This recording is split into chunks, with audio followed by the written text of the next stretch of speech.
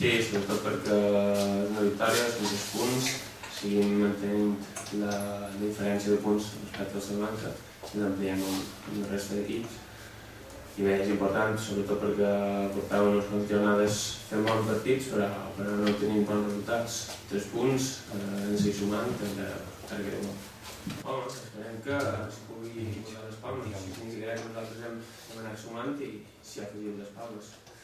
Està clar que l'objectiu són eh, 50 punts, arribar a 50 punts i jo crec que, bueno, eh, sobretot a casa, eh, és on hem de ser, hem de ser forts i hem de, sumar partits. Sí, ara venen un- uns partits difícils, però bueno, ara mateix tothom es, juga coses, tots els equips pràcticament es juguen res, es juguen, es juguen coses i potser és el llarg, com has dit, és, és dels pocs que no es juguen res. És un filial, sí, però bueno, nosaltres ara mateix eh, és independent de qui que ens toqui i hem d'anar sumant de 3 en 3 i el més aviat possible.